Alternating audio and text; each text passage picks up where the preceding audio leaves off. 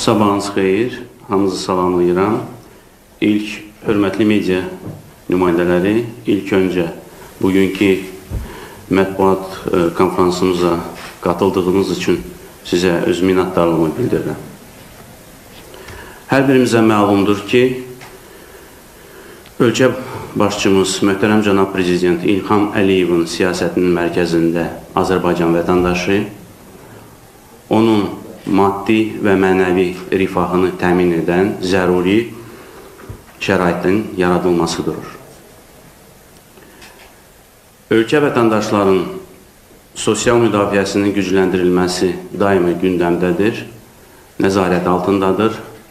İstər ilbəil artan əmək haqları və təqaüdlər, istərsə də müharibə iştirakçıları, əlilləri, şəhid ailələri üzvlərinin və az təminatlı ailələrə göstərilən qayğı və diqqət.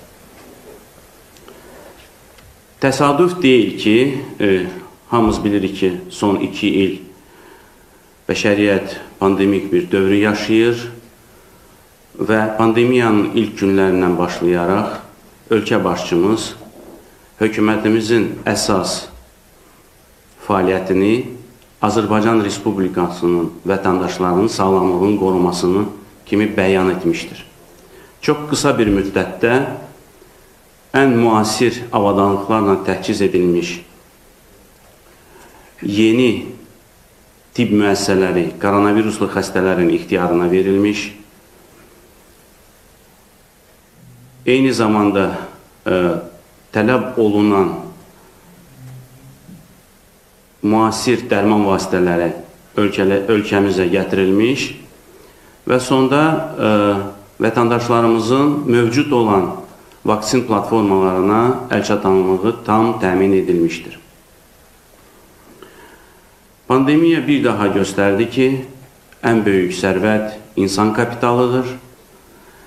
İnsan kapitalının da fəal, fəal e, fəaliyyəti üçün ilk öncə insanın sağlamlığıdır. Hal-hazırda Səhiyyə Nazirliyi e, səhiyyə sektorunda tək fəaliyyət göstərmir. Səhiyyə sektorunda fəaliyyət göstərən digər də dövlət qurumları var.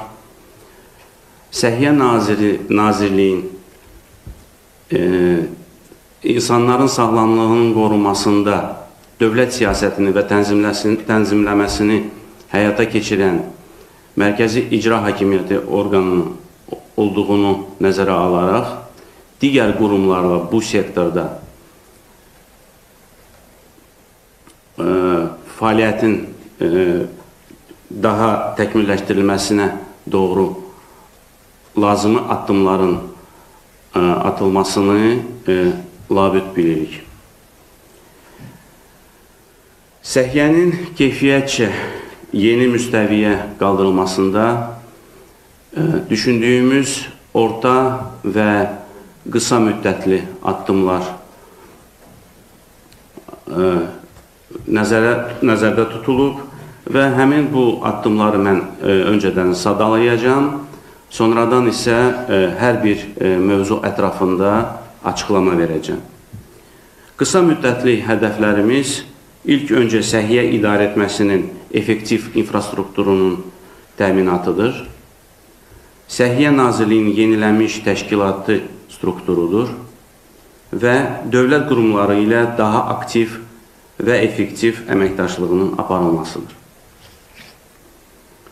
Qısa müddətli hədəflərimiz, e, orta müddətli hədəflərimiz səhiyyədə insan kapitalının gücləndirilməsi, səhiyyə qanunvericiliyinin təkmilləşdirilməsi, ölkənin yerli dərman vasitələri ilə və tibbi avadanlıqlarla təminatı, səhiyyənin maliyyələşdirilməsinin optimallaşdırılmasıdır. İndi icazənizlə sadaladığım hər bir mövzu barədə bir açıqlama verəcəm. Qeydlərinizi apara bilərsiniz və çıxışımın sonunda istənilən suallarınızı cavablandırmağa hazıram. Effektiv səhiyyə idarə etməsinin formalaşdırılması barədə xüsusilə qeyd etmək istərdim ki, sırf infrastruktur bazasının diqqətdə saxlayacağımız deyil, eyni zamanda inzibati idarə etmə dedikdə səhiyyə qurumlarının təsis konsepsiyalarına uyğun olaraq idarə etmə modellərinin formalaşdırılmasını nəzərdə tuturuq. Apardığımız araşdırmalar göstərir ki, bir sıra inkişaf edilmiş ölkələrdə səhiyyə sektorunda mərkəzi icra hakimiyyəti orqanlarının bərabər olaraq, yəni müxtəlif ölkələrdə bu müxtəlif nazirliklər ola bilir, qurumlar ola bilir. Eyni zamanda digər də iştirakçılar, aktiv və fəal e, iştirakçıları var.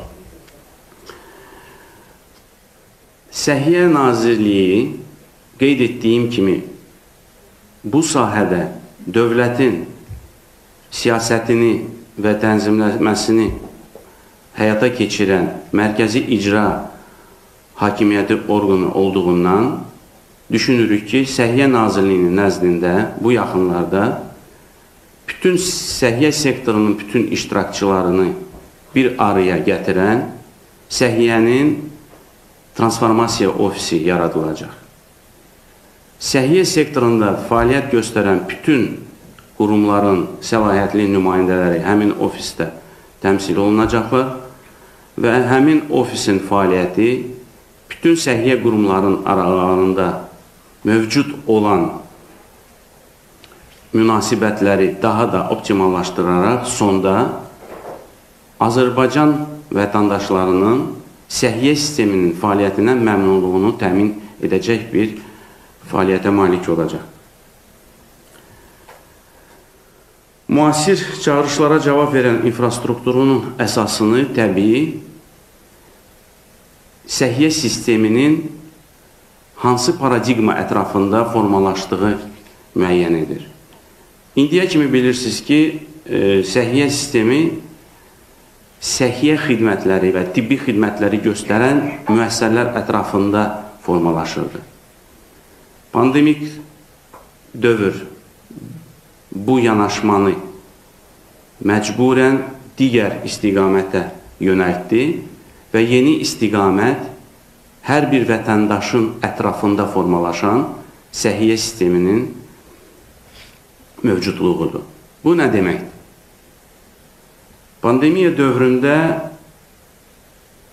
informasiya texnologiyaları, yəni e, startap səviyyəsində olan müəyyən qabaqcıl işləmələr, elmi araşdırmalar çox bir qısa müddətdə real iş, işləməyə başlamış və real həyata gətirilmişdir. Bu baxımdan ilk addımlarımızdan biri Səhiyyə Nazirliyinin nəzdində Səhiyyə, vahid səhiyyə çağrı mərkəzinin yaradılmasıdır. Hər bir Azərbaycan vətəndaşı həmin çağrı mərkəzinə müraciət edərək səhiyyə sistemi ilə, tiplə bağlı istənilən sorğusunu verərək probleminin həllini və sorğusunun cavablandırılmasına nail olacaq.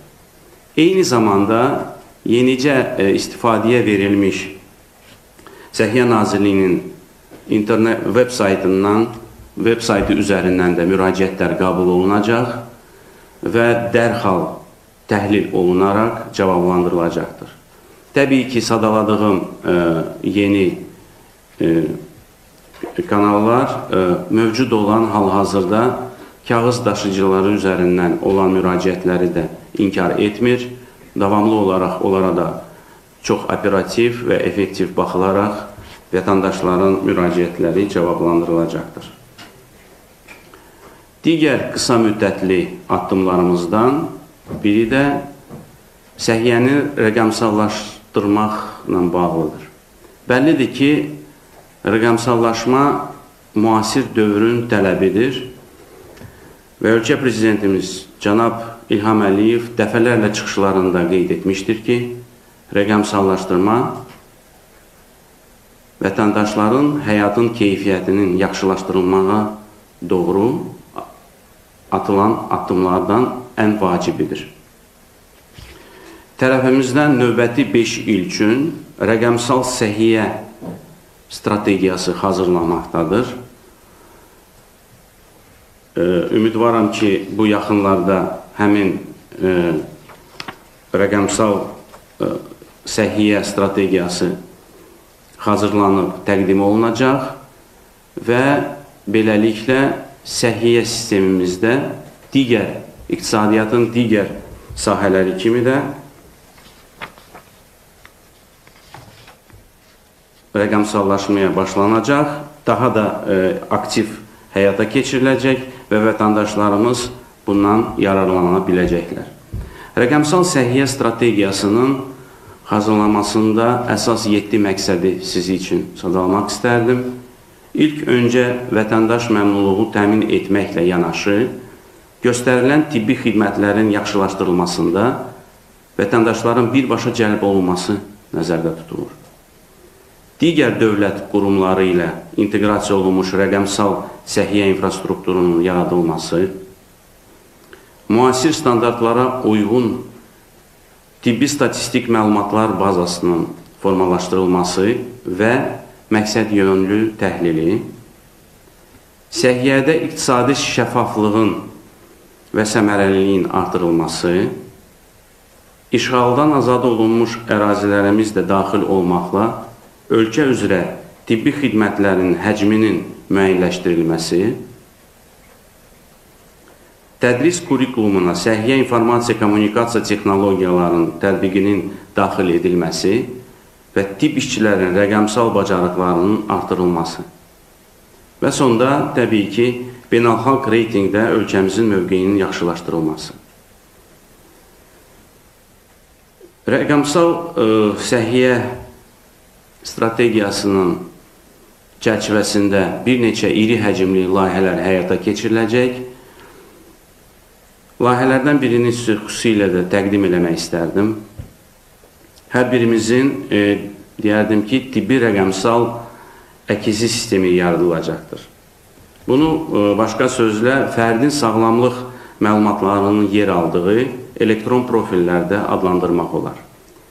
Bu sistemdə qadının hamiləlik dövründən başlayaraq şəxs vəfat edənədək onun sağlamlığına dair tam, bütün məlumatların toplanması nəzərdə tutulur. Toplanan məlumatlar əhalinin sistemli və keyfiyyətli müalicə almasını, eləcə də hökumət tərəfindən növbəti 5, 10, 15 il üçün müəyyən proqnozları vermək və strateji layihələndirmələri keçirməyə imkan verəcəkdir. Digər e, istiqamət effektiv səhiyyə idarə etməsinin formalaşmasında aktiv rol oynayan tibb müəssisələrinin qiymətləndirilməsi üzərinə qur, e, qurulacaqdır. Bunu dedikdə nəyi nəzərdə tuturuq? E, bilirsiniz ki, istənilən tibb müəssisəsinin istər müəssisə özü, onun e, nəzdində fəaliyyət göstərən tibb işçiləri, tibb işçilərinin fəaliyyəti, istifadə olunan dərman vəsaitləri, e, tibbi alətlər və cihazlar müəyyən standartlara uyğunlaşdırılmalıdırlar. Bu da sonda həmin tibb xidmətindən yararlanan vətəndaşın ilk öncə sağlamlığın qorunmasına yönəlmiş hə həkim sərfindən qorunmasına və keyfiyyətli tibbi xidmətdən yaralanmağına gətirir, çıxarır. Bununla bağlı hal-hazırda Səhiyyə Nazirliyinin nəzdində yaradılmış işçi qrupu fəaliyyət göstərilir. Bu yaxınlar, yaxın zamanlarda Səhiyyə Nazirliyi nəzdində tibb müəssisələrinin akreditasiya və keyfiyyətə nəzarət mərkəzi yaradılacaq. Həmin mərkəzin fəaliyyəti adı çəkdiyim fəaliyyətlərə standartlaşma gətirmək, həmin standartlara uyğun olaraq tibb müəssisələrini sertifikasiyadan keçirtmək və davamlı olaraq həmin müəssisələrin fəaliyyətindən nəzarət etmək olacaq.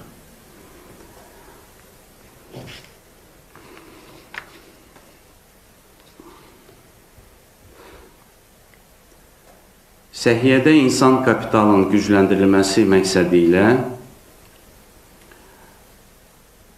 çox vacib addımlardan da biri təhsil məsələsidir. Bəllidir ki, insan kapitalı və tibbi işçilər üçün davamlı təhsil çox vacib bir məqamdır. Səhiyyədə tək təhsil yox, həm də tibb işçilərin praktiki fəaliyyətində e, dəstək olunacaq kifayət qədər e, çoxlu mövzular var. Biz çox gözəl anlayırıq ki, ixtisaslı işçi qüvvəsi səhiyyə sistemin ən əsas resursudur. Bu sahədə ə, e, insan üzrə yeni tip işçiləri ə, e, nəzərdə tutulur. Yeni strategiyanın hazırlanması vacibdir. Bu baxımdan yəqin ki, bu yaxınlarda əlavə bu istiqamətdə atılacaq addımlarla bağlı məlumat sizə veriləcək. Nəinki e, ilkin mərhələdə orta tibb işçiləri, ali e, tibb təhsili müəssisəsi, yəni Azərbaycan Tibb Universiteti nəzdində e, istifadə olunan, tətbiq olunan e, kurikulumlarla söhbət aparırıq. Eyni zamanda tibbi iş, tibb işçilərinin davamlı təhsilinə e, sözümü gətirirəm son e, zamanlarda dəfələrlə e, mediada dərc edilmiş e, sertifikasiya ilə bağlı, tibb işçilərinin sertifikasiya ilə bağlı bu xüsusi bir mövzuya toxunuram. E, Səhiyyə Nazirliyinə də çox saylı müraciətlər olub. Həmin müraciətlər təhlil edilib, dərindən öyrənilib, şikayətçilərlə görüşlər keçirilib və e, belə bir e, fikrə gəlmişdi ki, əsas şikayətlər iki ixtisas üzərindən e, ixtisas daşıyıcıları tərəfindən olunurdu. Biri radiologiya, digəri isə stomatologiya üzrə. Bu da onu ilə konkret bağlı idi ki, bu ixtisaslar çərçivəsində alt ixtisaslar üzrə həkimlər fəaliyyət göstərirlər Bu da ə, e, tibb təhsilinin hələ də keçid dövrünü yaşadığımız üçün baş verib. Radioloqlara ayrı olaraq orada ultrasəs müayinəsi həkimləri var idi, sonra rengenoloqlar və imtahan zaman istifadə olan sual toplusu əksər hallarda bunların alt ixtisaslar üzrə, çalışdıqları alt ixtisaslar üzrə kifayət qədər kasad idi. E, çox qısa bir müddətdə işçi qrupu yaradıldı. Yeni suallar toplusu hazırlandı. Onların həcmi genişləndirildi və artıq radiologiya ixtisası üzrə imtahana girən mütəxəssislər hərəsi öz alt ixtisasına uyğun olaraq həmin bu ixtisas üzrə üstünlüyünü ə, təşkil edən ə, biletlərdən ə, biletlərlə cavab verirlər. Stomatologiyada üzrə 16 ixtisas var. Eyni mexanizm burada da tətbiq olunub. Ümidvaram ki, yaxın müddətdə həmin ə, həkimlərin məmnunluğuna nail olacaq. Təbii ki, hal-hazırda mövcud olan sertifikasiya imtahanı mükəmməlləşdirməyə ehtiyacı var. Bu istiqamətdə işlər aparılır və tibb işçilərin sertifikasiya mərkəzinin yeni formatda fəaliyyəti üçün müvafiq addımlar atılacaqdır. Qısa müddətli reallaşdırılmasını nəzərdə tutduğumuz addımlardan biri də digər dövlət qurumları ilə əməkdaşlığı xüsusilə qeyd etmək istəyirəm. Artıq bu məqsədlə Səhiyyə Nazirliyi və Dövlət Vergi Xidməti arasında ilkin müzakirələr aparılıb. Funksional fəaliyyət ehtiyaclarından irəli gələrək qarşılıqlı olaraq məlumat bazaların e, inteqrasiyası nəzərdə tutulur. Səhiyyə Nazirliyi və Dövlət Vergi Xidməti arasında tədbirlər planı hazırlanmaqdadır. Digər qurumlarla isə Təhsil Nazirliyi və Qida Təhlükəsizliyi Agentliyi də birgə təhsil müəssisələrində sağlam həyat tərzinin təşviqi ilə bağlı birgə fəaliyyət nəzərdə tutulub. Rəqəmsal İnkişaf və Nəqliyyat Nazirliyi ilə qeyri-informasiya sistemlərinin qurulmasına dair mühüm layihələr gələcəkdə aparılacaqdır. Maliyyə Nazirliyi ilə e, səhiyyənin maliyyələşdirilməsinin optimallaşdırılmasına dair və digər qurumlarla yaxından əməkdaşlıq aparmağımızı nəzərdə tuturuq. Nəticə əsaslı hədəflərə çatmaq üçün müəyyən vaxt və sistemli tədbirlərin görülməsi tələb olunur və bu baxımdan orta müddətdə əldə olunması planlaşdığımız müəyyən addımlara sizə artıq dedim. E, bu da kadr siyasətidir və buna əlavə olaraq səhiyyədə insan kapitalının gücləndirilməsinə gəldikdə, xüsusilə regiondakı kadr çatışmazlığını nəzərə alaraq düşündüyümüz müxtəlif təşviq edici kampaniyalarla tədbirlərlə tibb işçilərin cəlb olunmasını nəzərdə tuturuq. Tibb təhsillərini harda aldıqlarından fərqli olmayaraq, heç bir ayrı seçkilik qoymadan peşəkar tibb işçilərini regionlarda normal fəaliyyətlərini təmin etmək üçün regionlarda sağlam tip infrastrukturunu təmin etmək düşünürük. Xaricdə biliklərini mükəmməlləşdirən və əsaslı e, tip təhsilini alan mütəxəssisləri yalnız praktiki fəaliyyət yox, eyni zamanda tədris prosesinə cəlb etməyi düşünürük ki, bu da sonda daha geniş e, gənc mütəxəssis auditoriyasını əhatə etməyə imkan verəcək ki, həmin o insanlarda müasir müalicə üsullarına e, yiyələnərək Azərbaycan Respublikasının vətəndaşlarına geniş miqyasda xidmət göstərə biləcəklər. Tip təhsili sahəsində vacib məqamlardan da biri dünyanın qabaqcıl tip təhsili ocaqları ilə birgə bərabər olaraq Azərbaycan Tibb Universiteti ilə ikili diplom proqramlarının tətbiq edilməsi və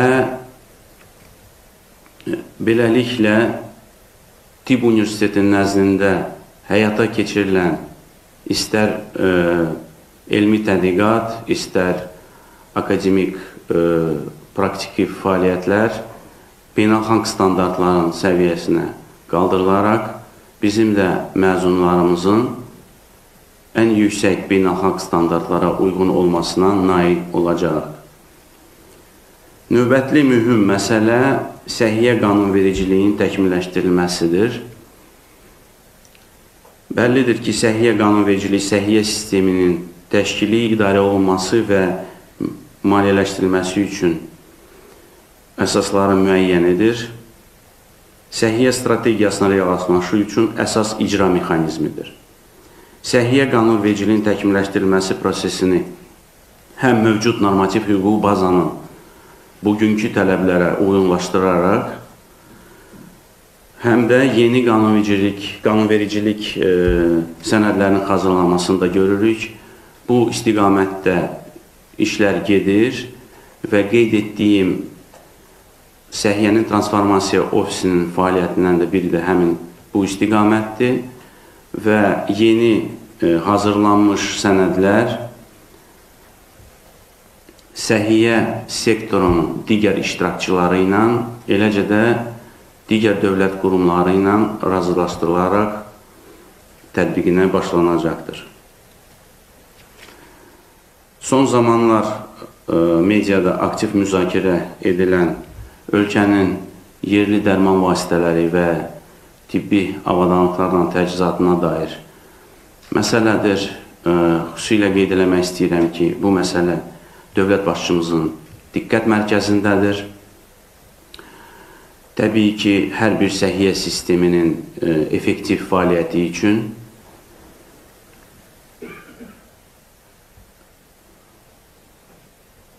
dərmanlara tətbiq olunan qiymət e, qiymətləndirmə prosesinin formalaşdırılması sağlam şəkildə və həmin dərmanlara əlçatanlığın təmin edilməsidir. Diqqətinizə çatdırmaq istəyirəm ki, 2021-ci il 14 oktyabr tarixli Azərbaycan Respublikasının Nazirlər Kabinetinin sərəncamı ilə əczaçılıq sektorunun inkişafı üzrə komissiya təşkil edilib. Komissiyanın işinə müxtəlif dövlət qurumları cəlb olunub, beynəlxalq məsləhətçilər cəlb olunublar çox intensiv iş aparılır və yaxın zamanlarda həmin komissiyanın fəaliyyətinin yekunlarına əsasən yerli dərman bazarının tənzimləməsinə dair təkliflər təqdim olunacaqdır. Bu, istərsə də topdan satış və ya pərakəndə, istərsə də yerli dərman istehsalına təkan ola biləcək müəyyən normativ aktlara aiddir. İstərsə də vətəndaşların dərman vasitələrinə əlçatanlığının məmnunluğunu təmin edəcək yeni mexanizmlərin tətbiqindən danışa bilərik. Məlumdur ki, əczaçılıq sektorun inkişafı dərman preparatlarının ölkəmizə ölkəmiz tərəfindən özünü təmin etməsi bir strateji bir məsələdir və ölkə rəhbərliyi tərəfindən daima diqqətlə izlənilir. Son dövrlərdə Pirallahi Sənaye Parkı nəzdində Erfarm şirkətlər qrupunun istehsalat kompleksinin işə düşməsi, Cəmiyyət Koşpris istehsalı zavodunun qurulması və fəaliyyəti başlaması və e, Türkiyənin Dəmirörən Holdingi ilə Azərbaycan Respublikası İqtisadiyyat Nazirliyi arasında dərman istehsalı sahəsində investisiyaların yatırımına dair sazişin imzalanması da bu sahənin inkişafında müşahidə olunan mühüm addımlardan biriləridir. Səhiyyənin maliyyələşdirilməsinin optimallaşdırılmasına gəldikdə isə bu mövzu çox geniş bir mövzudur. Hamınıza məlumdur ki, keçən ilin aprel ayının birindən artıq ölkəmizin bütün e, bütün ölkə üzrə e, icbari tibbi sığortanın tətbiqi başlanılmış və tam ölkəmizi ahəta edir.